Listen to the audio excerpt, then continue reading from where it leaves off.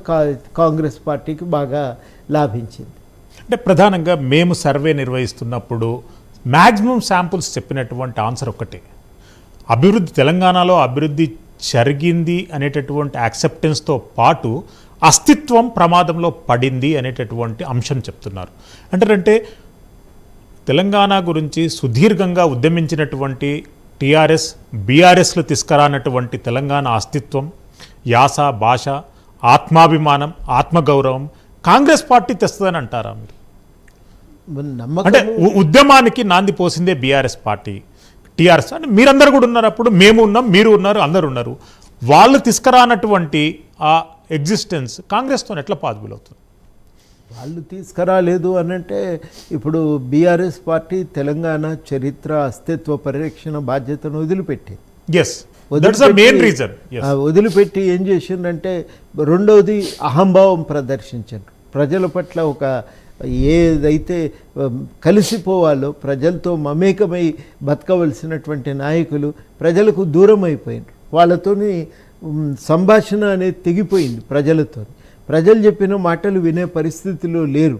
అది జరిగినటువంటి పరిణామం. ఇది ఒకవైపు అయితే రెండో వైపు చాలా ముఖ్యమైనదంటే ఇవాళ కాంగ్రెస్ పార్టీలో జరిగి బీఆర్ఎస్ పార్టీలో జరిగిన ఇంకొక తప్పిదం ఏంటంటే వాళ్ళు విపరీతంగా దోపిడికి ప్రజల సంక్షేమాన్ని మర్చిపోయి వాళ్ళు దోపిడికి ఎగబడ్డారు. ఇవన్నింటి కారణం వల్ల బీఆర్ఎస్ పార్టీ అనేది ఉద్యమ ఆకాంక్షల సాధన తెలంగాణ అస్తిత్వ పరిరక్షణను కానీ వాళ్ళు సంపూర్ణంగా మర్చిపోయినారు. ఆ మర్చిపోయిన సందర్భంలోనే ప్రజలు తమ పోరాట స్ఫూర్తిని చైతన్యాన్ని సంపూర్ణంగా ప్రదర్శించారు. వాళ్ళు చాలా సూటిగా బీఆర్ఎస్కు వేసిన ప్రశ్న ఏంటంటే మేము ఇంతగా కొట్లాడి తెచ్చిన తెలంగాణలో మా ఎవరికీ గౌరవం లేదు మాకు ఆత్మగౌరవం లేదు. ఇది వాళ్ళు ప్రధానంగా చెప్తున్నటువంటి మాట. రెండవది వాళ్ళు ఏం చెప్తున్నారంటే మాకు ఆత్మగౌరవం లేకపోవడం మాత్రమే కాదు ఇవాళ తెలంగాణలో వాళ్ళందరూ చెప్పేది ఇంకో మాట ఏంటంటే ఈ పాలకుల యొక్క అహంభావం అనేది విపరీతంగా పెరిగిపోయింది. దాంతోపాటుగా వాళ్ళు చెప్పిన మూడో మాట ఏంటంటే ఇవాళ తెలంగాణలో విపరీతంగా వనరుల దోపిడీకి పాల్పడటం దానికి వాళ్ళకు చాలా స్పష్టంగా మేడిగడ్డ యొక్క కుంగుబాటు త దసికిపోవటాన్ని కూడా వాళ్ళు గమనించిండ్రు చూసిండ్రు అందువల్ల ఈ పరిస్థితులన్నీ చూసిన తర్వాత వాళ్ళు చాలా స్పష్టంగా ఇక ఈ ఇక బీఆర్ఎస్ పార్టీకి ఈసారి మనం దించాల్సిందే. అంటే ప్రజాస్వామ్యం ఆత్మగౌరవం లేకపోవటం ఆత్మాభిమానాన్ని గౌరవం లేకపోవటము పాలకులు ఇష్టానుసారంగా అధికారాన్ని చెలాయించటము సహించలేకనే ప్రజలు ఇవాళ బీఆర్ఎస్ను ఓడగొట్టడం జరిగింది. మరోవైపు ఏంటంటే కాంగ్రెస్ పార్టీ అనేది ఒక బలమైన ప్రత్యామ్నాయంగా కనబడ్డది. దానికి తోడు వీళ్ళు ఆరు గ్యారంటీలు ఇవ్వటం జాతీయ నాయకత్వం వచ్చి వాళ్ళకున్నటువంటి ప్రజాకర్షణ శక్తినంతా తెలంగాణలో ఒక ప్రచారానికి దాళ్ళు కూడా ఉపయోగించటం జరిగింది. ఈ పరిణామాలన్నింటి నడుమ తెలంగాణ రిజల్ట్ అనేది ఇవన్నింటినీ వీటిని ఈ ప్రభావితం చేసే ఇవి కీలకమైన అంశాలని చెప్పి నేను అనుకుంటున్నా. మనం గ్రహించాల్సిన అవసరం గారు భారతీయ జనతా పార్టీ ప్రేక్షక పాత్ర పోషిస్తుందని మీరు ఎట్లా అనుకుంటున్నారు? ఎందుకంటేనంటే ఒక రాష్ట్రంలో వాళ్ళ ప్రత్యర్థి కాంగ్రెస్ పార్టీ అధికారంలోకి వస్తుంది అంటనంటే వాళ్ళు గజ గోకర్ణ విద్యలన్నీ చేసే అవకాశం ఉంటుంది కదా. ఏం చేస్తారు? ఏడు ఎనిమిది కంటే మించి గెలిచే ఛాన్స్ లేదు. గవర్నమెంట్ను కూలగొట్టాలంటే కనీసం వాళ్ళకైనా నలభై రావాలి. ఒక యాభై సీట్లు బీఆర్ఎస్కు రావాలి. అవి రెండు రాకపోతే కనీసం ఓ నలభై ఐదు అన్న బీఆర్ఎస్కు రాకపోతే వాళ్ళు ఏం చేయలేరు. అన్ని సీట్లు వచ్చే పరిస్థితి ఏం లేదు. లేదు కాబట్టి కొంతకాలం మరి బీజేపీ వాళ్ళు భరించక తప్పదు ఈ పరిస్థితిని. వాళ్ళు ఏం చేద్దామన్నా కానీ ఈ పరిస్థితిని వాళ్ళు బీజేపీ వాళ్ళు తారుమారు చేయటం అయితే సాధ్యం కాదు. అన్నిటికంటే ముఖ్యమైందంటే ప్రజల్లో ఒక చైతన్యంతో వేసిన ఓటు ఇది. ఒక మార్పు కోసం వేసిన ఓటు. ఒక అప్రజాస్వామిక పాలన పట్ల ఒక నిరసన ఇది ఓటు. ఈ నిరసనగా వేసినటువంటి ఈ ఓటు వేసి ప్రజలు మళ్ళీ అటు ఇటు ఫిరాయిస్తారంటే మాత్రం భరించే పరిస్థితి ఉండదు.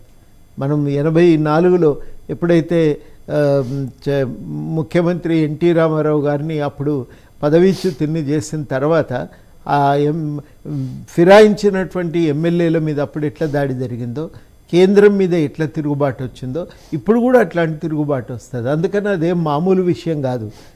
చాలా ఎవరైనా అట్లాంటి ప్రయత్నం చేస్తే మాత్రం చాలా చాలా తీవ్రమైన నిరసనను ఎదు- ఎదుర్కోవాల్సి వస్తుంది. కోదండరామ్ గారు టూ థౌజండ్ ఫోర్టీన్ నుండి మొన్నటి టూ థౌజండ్ ఎయిటీన్ ఎలక్షన్స్ అప్పటి వరకు ఈ రోజు వరకు కాంగ్రెస్ పార్టీ నుండి నలభై ఏడు మంది ఎమ్మెల్యేలు బీఆర్ఎస్ పార్టీకి అమ్ముడుపోయారు. ఇప్పుడు మిగతా అంటే ఇప్పుడు ఉన్నటువంటి వాళ్ళల్లో వాళ్ళకు కావాల్సినటువంటి మెజారిటీ వరకు అమ్ముడు పోరు అనే గ్యారంటీ ఎక్కడుంది? అమ్ముడు బోరు అంటే ఒకే ఒక్క గ్యారె ఒకే ఒక్క గ్యారంటీ ఏంటంటే అప్పటికి ఇప్పటికీ ప్రజల్లో తేడా వచ్చింది. చాలా ఆలోచనతో చైతన్యంతో ఒక స్ఫూర్తిదాయకంగా ప్రజాస్వామ్య పరిరక్షణ కోసం ప్రజలు ఓటు వేయాలనుకున్నారు. మార్పు కోసం ఓటు వేయాలనుకున్నారు. అంతగా తండోపతండాలుగా ఊళ్ళకు తరలి వెళ్ళి దసరా పండుగకు పోయినట్టు పోయినరు వాళ్ళు. యువకతలో విపరీతమైనటువంటి కోపం ఉంది. మాకే ఒక్క ఉద్యోగం ఇవ్వలేదు ఈ గవర్నమెంటు. పరీక్షలు జరిపితే పేపర్లు అమ్ముకున్నారనే కోపం ఉంది. ఆ కోపం వచ్చిన యువత వాళ్ళు ఉట్టిగా ఊరుకోలే. ఈసారి గ్రామాలకు వెళ్ళి ప్రచారం చేసింది.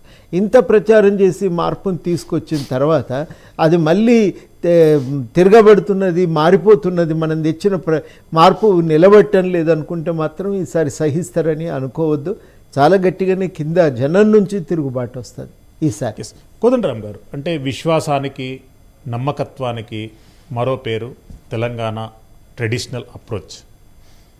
BRS party ప్రభుత్వంలో గత పది సంవత్సరాల నుండి ఒక్క కోటి ఇరవై తొమ్మిది లక్షల మంది లబ్ధిదారులు అంటే ప్రభుత్వ లెక్కల ప్రకారంగా. ఒక కోటి ఇరవై తొమ్మిది లక్షల మంది అయితే బీఆర్ఎస్ పార్టీకి ఓటేసేటటువంటి అవకాశం స్పష్టంగా కనిపిస్తుంది. అయినటువంటి poll percentage seventy percentage. Seventy percent అంటనంటే ఉన్నటువంటి ఓటర్లలో ఫిఫ్టీ పర్సెంట్ అబోవ్ ఇన్ చా ఇన్ కేస్ బీఆర్ఎస్ కింద పోల్ అవుతే సమీకరణాలు మారే అవకాశం ఉంది. అట్లా ఛాన్స్ లేదండి మీరు అనుకున్నట్టుగా. అవన్నీ పడితే ఇవన్నీ పడితే ఇవన్నీ అగర్మగర్లు అవి అట్లా లేదది లేని దాన్ని ఇక దానికి అనుమానం అవసరం లేదు. ఇప్పుడు చాలా ముప్పై ఐదు శాతం యువక యువత ఉంటుంది. ఈ ముప్పై ఐదు శాతం దాదాపు నాకు ఒక ఆయన ఫోన్ చేసి చెప్తున్నాడు. ఆ నియోజకవర్గం గురించి చెప్తూ ముప్పై ఐదేళ్ళ లోపు వయసున్న వాళ్ళు యువకులైతే ఒక్కలంటే ఒక్కరు కూడా బీఆర్ఎస్ కోటేయలేదు. అది వాళ్ళు ఉన్నటువంటి వాస్తవం. వాళ్ళల్లో ఉన్న కోపం కూడా మామూలు స్థాయిలో లేదు. వాళ్ళకు వాళ్ళుగా నిర్ణయించుకున్నారు. ఒక రాజకీయ పాత్ర యువత పోషించింది ఇది మొదటిసారి. శ్రీశైలం గారు ఇదివరకు ఎన్నడూ యువత రాజకీయ శక్తి కాదు. వాళ్ళు ఒక పొలిటికల్ ఫోర్స్ కాలేదు. నిరుద్యోగ సమస్య ఎజెండా మీదకి వచ్చింది. యువత ఒక పొలిటికల్ ఫోర్స్గా మిగిలింది. మిగలటం వల్ల ఏం జరుగుతున్నదంటే ఆ యువత మొత్తంగా కూడా ఈసారి గట్టిగా ఊళ్ళల్లో తిరిగి ప్రచారం చేసి ఆ పాత్రను నిలబెట్టుకున్నారు. ఆ యువత ఇవ్వలేదో తమ జీవితము యొక్క భ తమ భవిష్యత్తు కోసం అని చెప్పి ఇవాళ మార్పును సాధించడానికి కృషి చేసిన యువత ఇక ఈ ఎమ్మెల్యేలు ఏది పడితే చేస్తే చూస్తూ ఊరుకుంటారని అనుకుంటే అది పొరపాటు. అట్లా ఉండదు ఈసారి. చాలా తీవ్రమైన ఘర్షణ ఉంటుంది. చాలా తీవ్రమైనటువంటి నిరసనను ఎదుర్కోవాల్సి వస్తుంది. అది మామూలు విషయం కాదు. అది అందరూ కూడా ఇవాళ గ్రహించాల్సిన అవసరం కూడా ఉంది. భారతీయ జనతా పార్టీ కూడా కాన్ఫిడెంట్గా ఉంది. ఇరవై సీట్ల అబోవ్ వస్తే మేమే ముఖ్యమంత్రి అభ్యర్థి. బీసీకి ముఖ్యమంత్రి స్థానాన్ని అప్పగడతామనేటటువంటి కాన్ఫిడెంట్తో బీజేపీ కూడా ఉంది. బీజేపీకి ఉన్నటువంటి సమీకరణాలు ఏంటి వాళ్ళకున్న కాన్ఫిడెన్స్ ఏంటి? ఏం లేదు వాళ్ళను వీళ్ళను ఎమ్మెల్యేలను కొని గవర్నమెంట్ చేద్దామనేదే. కానీ ఇరవై సీట్లతో గవర్నమెంట్ ఫామ్ చేద్దామంటే అది అయ్యే పని కాదండి. నలభై నలభై దాకా పోతే అప్పుడు ఏమన్నా ఇంకో పది పదిహేను మందిని తీసుకుందామంటే అది కుదురుతుంది. ఇటు కాంగ్రెస్కు డెబ్బై పైన వచ్చే వాళ్ళకి ఇరవై సీట్లే వచ్చాయి. ఇరవై కూడా రావని అన్నట్టు మీరు అన్నట్టు బీజేపీ బీఆర్ఎస్ కింద కలిస్తే ఎంఐఎం సాతిస్తే సమీకరణాలు ఏమైనా మారే అవకాశాలు ఉంటాయా? ఏది సాధించినా కానీ అది ఈసారి సాధ్యం కాదు.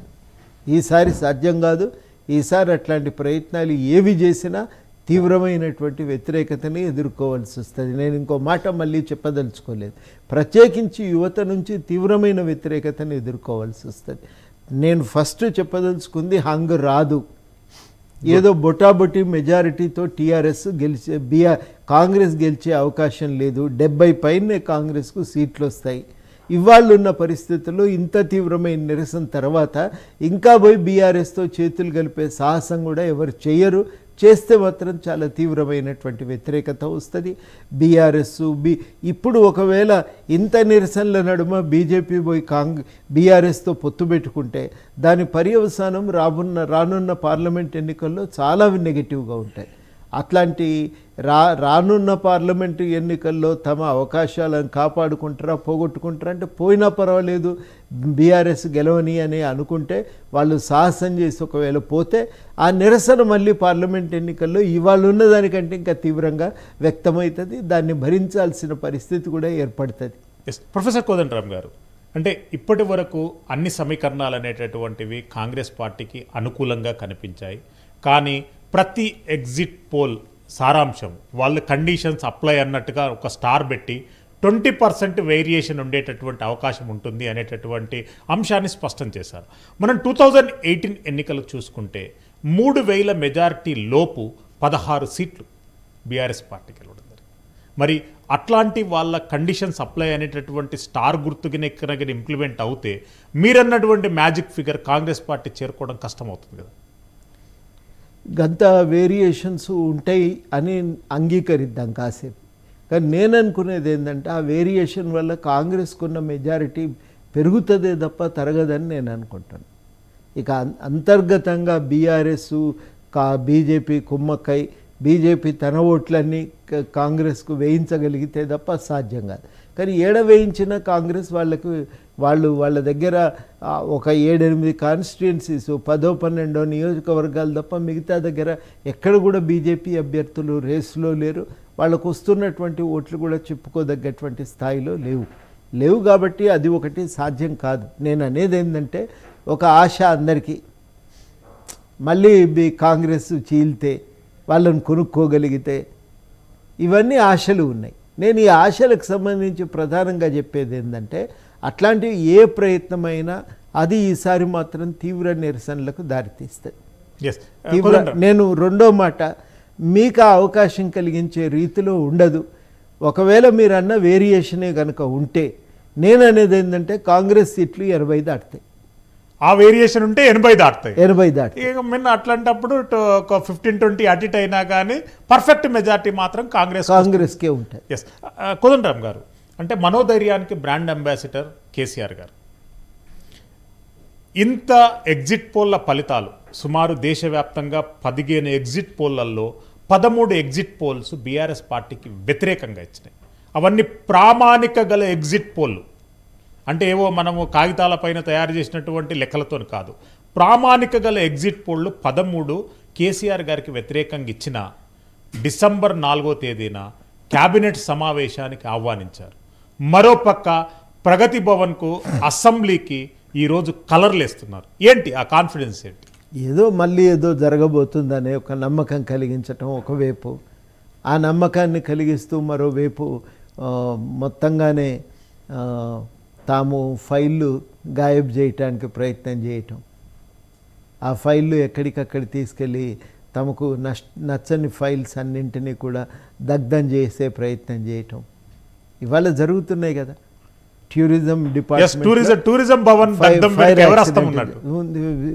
ఖచ్చితంగా అందులో ఉన్న అధికారులు నాయకులు దాంట్లో బాధ్యత వహించే నాయకులు మా కూడి చేసిందే. మంత్రి గారి హస్తం కూడా ఉండొచ్చు. వాళ్ళు కూడబలుకొని చేసినటువంటి ఫైళ్ళ దగ్ధం తప్ప వేరొకటి కాదు.